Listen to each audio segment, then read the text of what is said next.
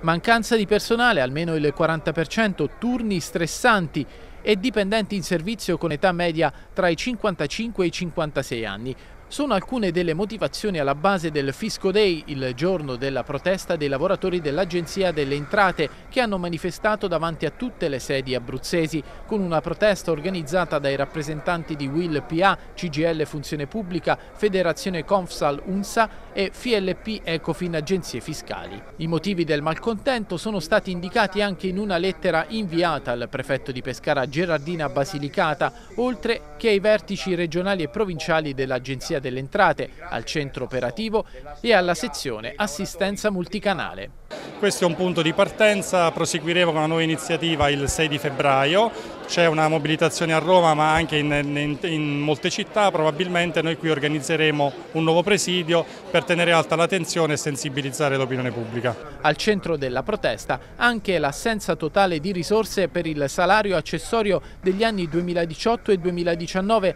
nonostante gli obiettivi siano stati raggiunti, dicono i sindacalisti lavoratori che hanno raggiunto gli obiettivi che si era prefissati l'amministrazione, hanno raggiunto gli obiettivi nonostante le carenze di organico, quindi i carichi di lavoro sono andati sempre più eh, a, a spremere questi lavoratori, quindi diciamo che l'obiettivo che si è prefissato l'amministrazione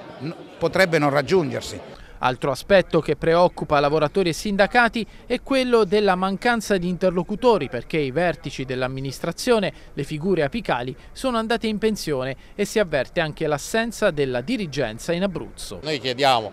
che si facciano concorsi per diplomati, per laureati e anche di espletare dei percorsi di carriera interna visto che non abbiamo vertici all'interno dell'agenzia perché la politica, qualsiasi colore eh, sia, eh, si perde tempo per spartirsi le poltrone, quindi noi siamo due mesi senza direttore generale dell'agenzia. La cosa principale che dovrebbe fare il nostro datore di lavoro è, è focalizzare l'attenzione sul patrimonio principale di qualsiasi azienda, cioè il personale, quindi dargli possibilità di carriera con l'ordinamento professionale che è fermo dalla firma del contratto, più di un anno è fermo, non c'è stato nessun passo in avanti, creare una possibilità di carriera con l'area quadri, togliere la prima area, e, e, dare la possibilità di gestire i fondi a livello autonomo